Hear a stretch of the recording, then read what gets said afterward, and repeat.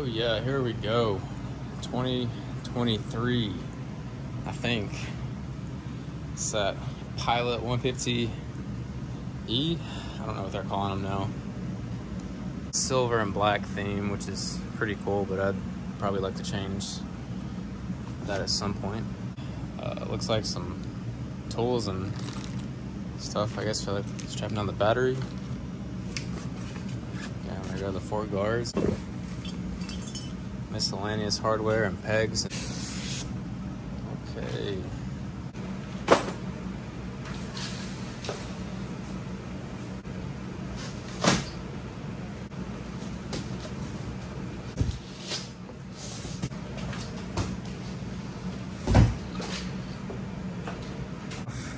This is generally what you're gonna see. Your shock is not connected. Should be a pretty simple assembly, but yeah, this is the bike.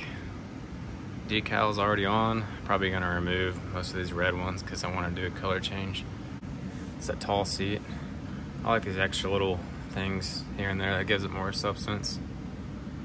Cool exhaust. Looks like you can remove this and uh, I guess make it quieter. Right here, what is this? Whatever it's sitting on it. Sure is handlebar assembly.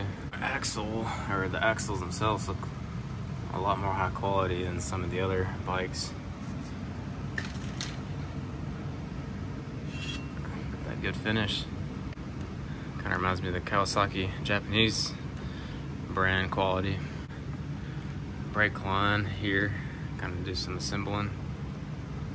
Looks mostly already assembled, like they get the frame done at some point in different color. Or we gotta change the brake and oil before we crank it. Yeah, got that navy carb. It's nice. Bolts in up here. Definitely want to change this out. Gotta do some wire plugging in stuff.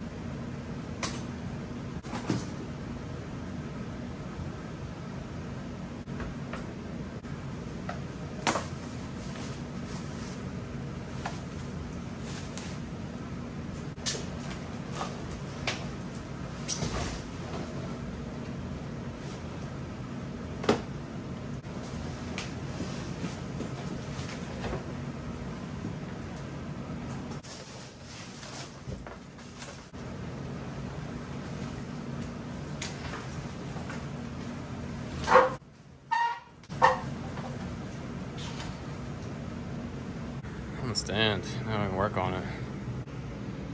Got all the tools laid out that I'll need. Gave you a couple wrenches here, so I just got the sizes off of that and the sockets. So I'm gonna kind of do a once over on everything that's already tight just to make sure.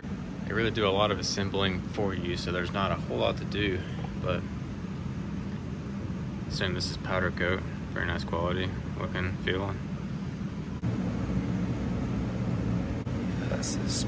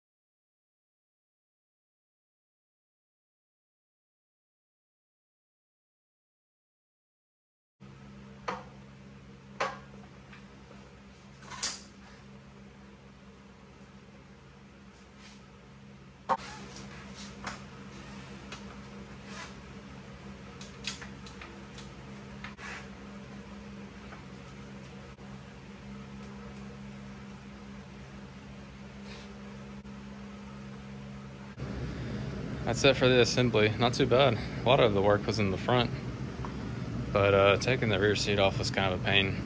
It has like a bunch of screws and stuff back here, so uh, I had to figure that out. I didn't use the manual or anything for any of this, but got the battery connected. Drain the shipping oil and uh, get ready to change that. Put the pegs on and I'll be ready to put some gas in it.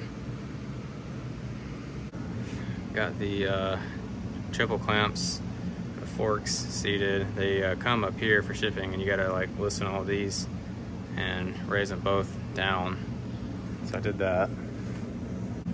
Couldn't find where to put the key, so I found online some guy, he had his right here, so I think that's where the key is supposed to go. It's a little inconvenient, but first initial impressions, uh, a lot of this quality of material looks really nice, like the master cylinder and levers and all that, you know. You got breakaways, the boots and the rubber, you know, everything's got logos. It's really cool. It's uh, ready to fire up. They put a little air in the tires, but you know, putting this thing together, you kind of really get to see up close the quality differences, you know, on this brand versus other brands. So kind of just get an idea right here. Just like even all the bolts they use, they uh, definitely went the extra mile on the hardware and everything. All the brackets. Got cardboard dust all over it, but you know, you can kind of tell like the machining marks and everything.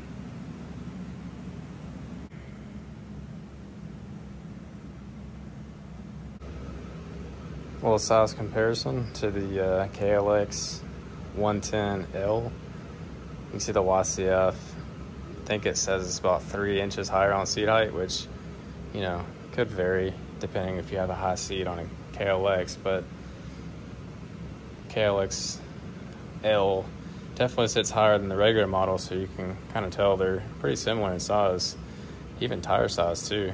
YCF definitely has, you know, that full mod you know, swing arm look to it, you know, like if you were to do that to a KLX 110 or CRF 110.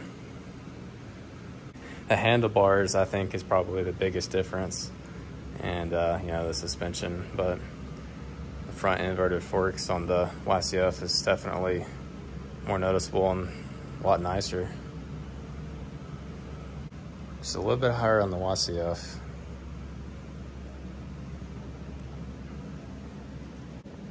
KLX definitely feels, you know, a lot smaller, but I think that has to do a lot with the handlebars. It hit your knees and stuff when you're turning, and it's just, it feels a little bit more compact, but I think this is a little bit more stretched out.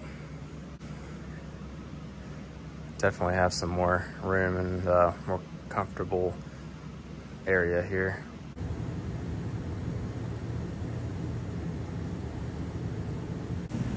Alright, I am changing the oil, brake hand oil, before I start it up. And uh, I took an empty quart. It's actually motorcycle oil, 1040. So I think that's probably what I'm going to buy because I didn't see in the manual what it said to use. I think it said to use uh, whatever brand they promote, but it doesn't tell you how much either. It just says to check the level. I am uh, going to see how much comes out of it just to kind of get a rough idea. I'll probably just go buy a couple quarts of this uh, motorcycle oil for the wet clutch or whatever at the auto parts store.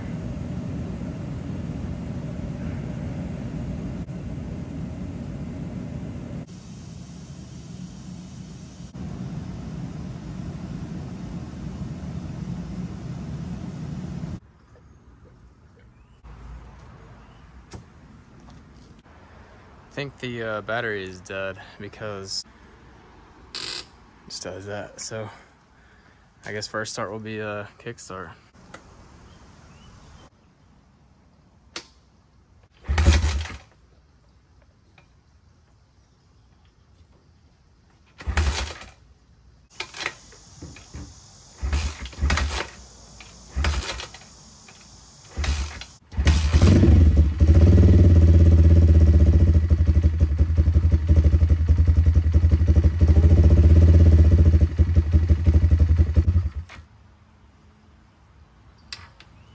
I think I was not supposed to put the choke on. Uh, I just pulled the lever up. Assumed that was, you know, cold start. Started up probably like two or three kicks after I took that off. Runs really smooth though, super responsive. And you kind of feel the power too, so I mean, smells good. Yeah.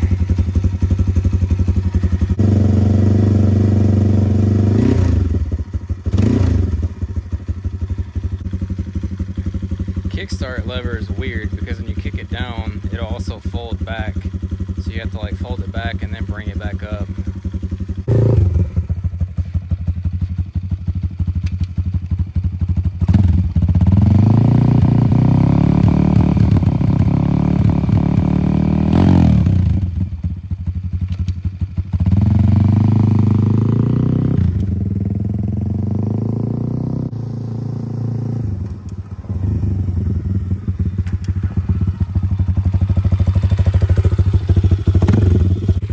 First ride's going pretty good.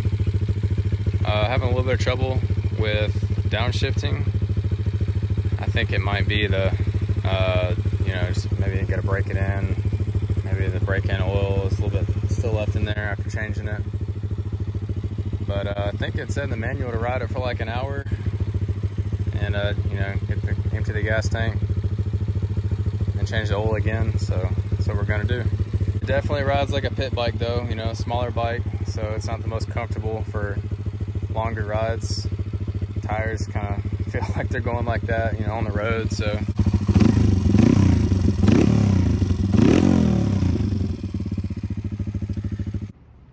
Okay, so the battery was dead and, uh, you know, it wouldn't start, but after riding it on constant RPMs, things staying in fourth gear the whole time, just pretty much just riding around in circles. We got a lot of the breaking in done.